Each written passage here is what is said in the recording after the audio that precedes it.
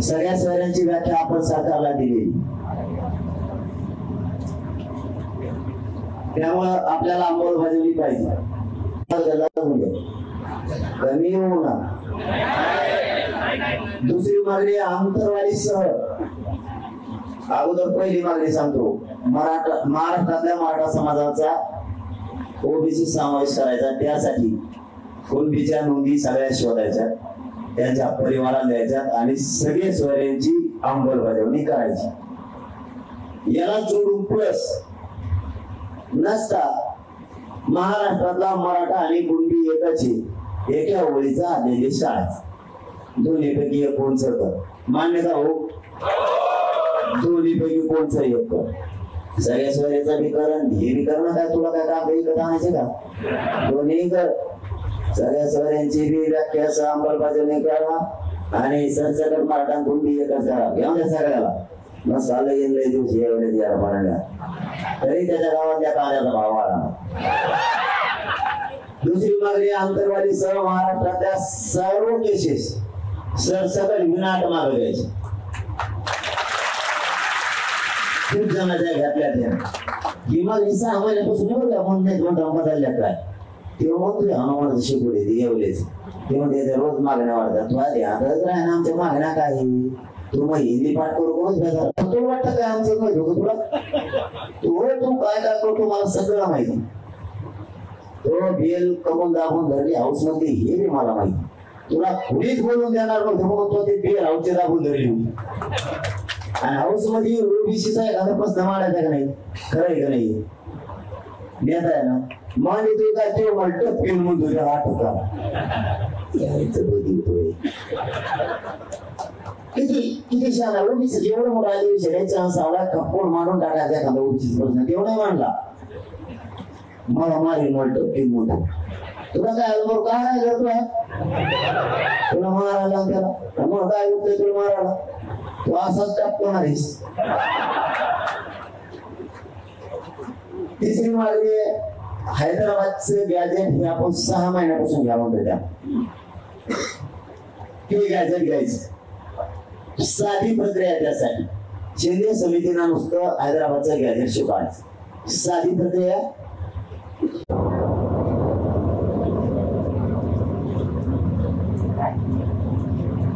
आवड नाही मला झाली ना? टीव्हीला मदत का आपल्याला. उली आपण सन्मान करायला पाहिजे. ऐकून नाही जमायचं आपल्याला आता शित्रू ओळखावा लागेल खरा शित्रू कोण आहे आपला कवा येण्याकडे आपल्याला कुणी जातात जातात आणि ते चुकून आपल्या मग आपल्याला निवडून एकदम. आपण असे नमुने मराठी हैदराबादचं गॅजेट आता समितीला घेता येते. समितीला ते घ्यायला पाहिजे नाही घेऊन आणखीन तो अठराशे एक्क्याऐंशीच्या जनतेने सुद्धा मराठा आणि कुणबी एकच हे सुद्धा घ्या. ध्यानात राहू तुम्हाला बोलायचं एवढ्या असं म्हणायचंच नाही. त्या माहिती मला पाहिजे तुला काय माहिती? पैसे सांगू. तर आपणच शिकून घ्यायचं. काय काय पाहिजे? उद्या मला बोलती बंद पडली. समजा उपोषणात. हा? कोणी सांगायचं सरकारला? तुम्ही सांगायचं पाहिजे म्हणून. देतो. म्हणजे आपण शिकून घ्या. घराघरातले मराठी आपल्याला लागतंय आपण कसं आणायचं शेतात आपण शिकायचं. पियाना रबा घालायचं ते दोन दिवस नाही पडत पडत राहणार आपलं. आपण पियाला शिकायचं. आपण आपलाच करायचं सगळं. लोकांची वर्गात झाला होता एकोणीसशे एकची सुद्धा जनगणना तिच्या सुद्धा मराठ्यांचा उल्लेख आहे तीही घेण्यात यावी. बॉम्बे गव्हर्नमेंटचं ग्रॅज्युएट सुद्धा एकदम साधी आणि सरळ प्रक्रिया आहे. याला कशाची कॅबिनेटची गरज नाही कशाची नाही कशाची समितीचा एक सारा सदस्य सुद्धा हे शिकवू शकतो. सातारा संस्थांचा सुद्धा गॅजेट काय हरकत आहे तुम्हाला स्वीकारायला? याचा अर्थ ते पहिले राजे नव्हते का? ते शासक नव्हते का? ते शाले नव्हते तुम्ही ते शाले का मग? तुम्हाला स्वीकारायला हरकत काय? काही काहीचा काहीच पुरावा न स्वीकारून सुद्धा आरक्षण एकोणीसशे सदुसष्टला कधी दिलं. ते तुम्हाला चालतं आणि जर पुरावेवाल्यांना आरक्षण द्यायचं नाही. हे आता शेवटची फाय फाईट आहे बाबा मराठी. हो आता ही शेवटची फाईट सातारा संस्थांचे गॅजेट घ्या तुम्ही परीक्षा सुरू होत आहेत रास्ता रोको वगैरे करून नाही करणारच नाहीत ना. आम्ही एकदा सांगितलं की आमची माणसं नाही करत मराठा समाज आम्हाला विद्यार्थ्यांची जाण आहे म्हणून तर आम्ही त्या दिवशी सांगितलं ना जरी रस्ता रोको केला तरी पहिला रस्ता त्यांना द्यायचा. आणि आता तर नाहीच ना. परीक्षा जरी सुरू झाल्या तरी नाहीच कारण आमचा मराठा समाज असं नाही. आडमटपणा करायचा म्हणून नाही करत. पण एकदा उतरलं की नाही आटत माग. आता पहिले म्हणायचे मराठी एक होत नाहीत. आणि एकदा जर झाले तर ते पुरं युद्ध जिंकूस तर माघारी येत नाहीत. हा, तिळाचा लावून येतात कपाळाला अशी जाती. माघारी नाही फिरत. तिळाचं लावून माघारी येणार. बिगर तिळाचं. उघडं कपाळ घेऊन मराठी माघारी फिरतच नाहीत. म्हणून तर सहा महिने झाले आंदोलन सुरू आहे. एकदा सुरू केलं शेवट पर्यंत त्याचा मार्ग निघूस तर माग हटायच नाही. केला महिनाभर पंधरा दिवस बंद केलं परत पंधरा दिवस सुरू केलं. सलग सुरू आहे.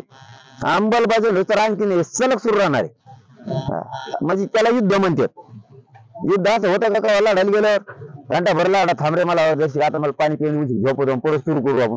तू त्या लिंबाखाली झोपली या आंब्या झाडाखाली झोपवतो सुरू सुरू. मग त्याला सहा महिने लागू दोन महिने लागू पंधरा दिवस लागू नाही एका घंट्यात म्हणू एक तर ते आउट नाही तर आपलं आपण आउट असं युद्ध होतं पहिलं. तसंच आपला छत्रपती शिवाजी महाराजांचा गणिमिकावा आणि विचार घेऊन आपला विचार धपका चालू सुरू करायचं नाही केलं ना मग त्या आंदोलनाला तीन दिवस लागू चार दिवस लागू सहा महिने लागू. ते यश आणल्याशिवाय माग आठत नाही. मराठ्यांना विजयाचा टिळा घरी लावून जायची सवय आणि ते मराठी आणि चल धन्यवाद. ही सरकारकडे आपली मागणी हैदराबादमध्ये म्हणजे ज्यावेळेस नागपूरचं अधिवेशन झालं त्यावेळेस सांगितलं होतं पंचवीस फळ्या हैदराबादला पुरावे सापडले? त्याला सव्वा तीन महिने झाले. त्याचं काय झालं? खोल्या तो सोडून गेला काय कोणी? निजाम भोवनी त्या टायमाला लिहून पुढे. पंचवीस खोल्या म्हणून ते आणायचं काम कोणाचं आहे? तुम्हीच सांगितले तुम्ही जर म्हणले आम्ही म्हणलो नाही तर आपल्या जो पुरावा आहे लगेच मराठ्यांना देतो मराठा तुम्हाला देऊ शकतो. तुम्हीच म्हणले. पूर्ण तरी नका आम्हाला ते सध्या पूर्ण करीन फुल टेन्शनमध्ये दुसरीकडे करते थोड्या टायमा सांगू. पासून बघतो कोणी कणीकडे काय काय केले दिवसभर. सगळं मी सोयीला लावतो. तेव्हा जर माहिती रेस्ट राहते ना तो टेन्शनमध्ये आमच्या पोरा कोणत्या पोरांनी वेळेतून जाऊन तिकडे जाऊन भजे खाल्ले हे सुद्धा खाल्ले राहिले कोणासंग खाल्ले? इतकं बारीक देऊन होतो.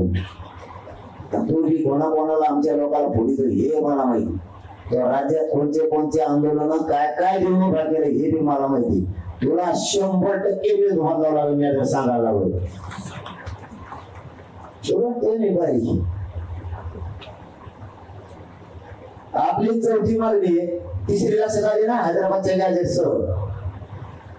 न्यायमूर्ती शिंदे साहेबांच्या समितीला मुदत वाढ द्यायची मराठवाड्यातल्या नोंदी त्यांनी शोधायच्या. मराठवाड्यासह महाराष्ट्राच्या. तुम्ही प्रत्येक तालुक्याला समिती केली. आणि त्या समितीला सांगितलं तुम्ही तालुका स्तरावर काम करा. आणि आम्हाला आढावा द्या. शिंदे समितीला प्रत्येक तालुक्यातल्या ज्या तहसीलदारांच्या अध्यक्षतेच्या खाली समित्या केल्या पीआयच्या अध्यक्षतेच्या खाली समित्या केल्या. यांनी आतापर्यंत नेमके समितीला अहवाल दिले किती तुम्ही नेमकं खाली काय काम केलं? नोंदी सापडल्या का? तहसीलदार पीआयनी? त्यांनी मोडी लिपीचे अभ्यास घेऊन गाव तो गावात विश्वास देत मग तुम्ही अडीच महिने चोवीस डिसेंबरपासून केलं काय? तुम्ही गावागावात नोंदी मिळाल्या त्यांची यादी लावली का? हे सगळे काम समितीला नुसती मोठं वाढ नको बघा आम्हाला. समितीनं बारीक या समितीवर लक्ष ठेवून त्यांच्याकडून काम करून घेणं गरजेचं आहे. नुसती मोदक वाढल्यावर काय करता? तुम्ही मुदत वाढ दिली एकोणतीस तारखेपर्यंत उद्याच्या दोन महिन्याची पण चोवीस डिसेंबरपासून एकवीस फेब्रुवारी पर्यंत समितीने केलं काय? मराठ्यांना याच्यावर बारीक लक्ष ठेवा. त्यामुळे समिती जर मुदत वाढली तर समितीला सुद्धा काम केलं पाहिजे. तालुका स्तराच्या सुद्धा.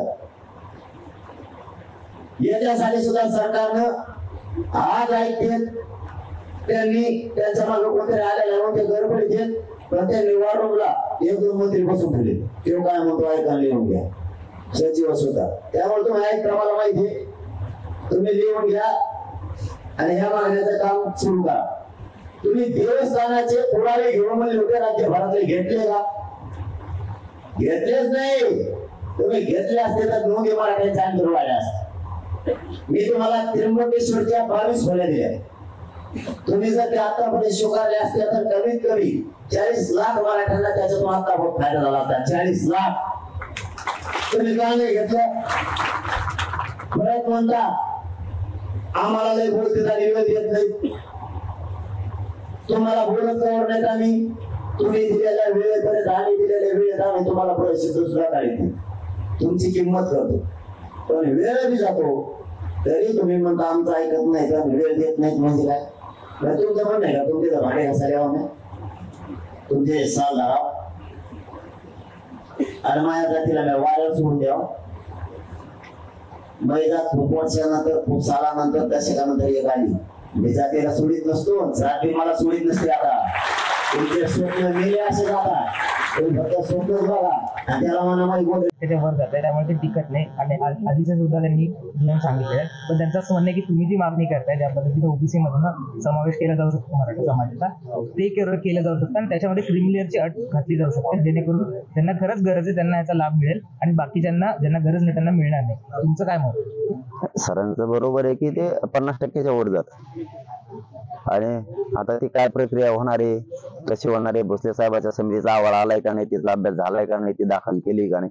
कारण त्याच्यात नुसतं मराठा समाज मागास सिद्ध करणं एवढाच प्रयोग नाही त्याच्यात दहा अकरा प्रयोग आहे ते सगळे केलेत. परिस्थिती कशी दाखवली? न्यायालयाला कसं सांगणार? सगळ्या कलमाला धरून ते बाकीच्या बाकीच्या त्रुटी भरिल्यात का? नुसतं मागास सिद्ध केलं म्हणजेच मिळालं असं नाही. पण जाऊ ना मला त्याला फळ्यात पडायचंच नाही. ते आरक्षणच आम्हाला पाहिजे नाही तर मी काय सांगत बसू ते लोक? ते दो ते दोघं तिघायला पाहिजे. आणि ते शंभर दीडशे जण आहेत तेवढ्याला पाहिजे. इकडे करोडाला आम्हाला ओबीसीतून पाहिजे. आणि सगळ्या सोयरीची अंमलबजावणी पाहिजे. अं, नावानं भावपूर्ण श्रद्धांजलीचे पोस्टर आणि किंवा पोस्ट आहे त्या व्हायरल होत ते नाही मला माहिती समाजाची भावना आहे. काय ते त्यांचा अधिकार आहे. समाजाला काय अधिकार आहे का नाही? त्यांना वाटत असेल. त्यांना त्यांना वाटत असेल ना की आम्ही यांना मोठं केलंय. आमच्या पोराच्या बाजूने हे उठला नाही याची गरज काय? मी म्हणतो त्याला इतकं मोठं केलं त्याची गरजच काय आपल्याला? आपल्या लग्नाला यावा ते काय वावरात नगर हाणाली येत नाही खैबार आपल्या नाव हाणाली येत नाही. शंभर रुपयाचा बाजार घेऊन देत नाही. हे काम आता काय नेमके आपल्या?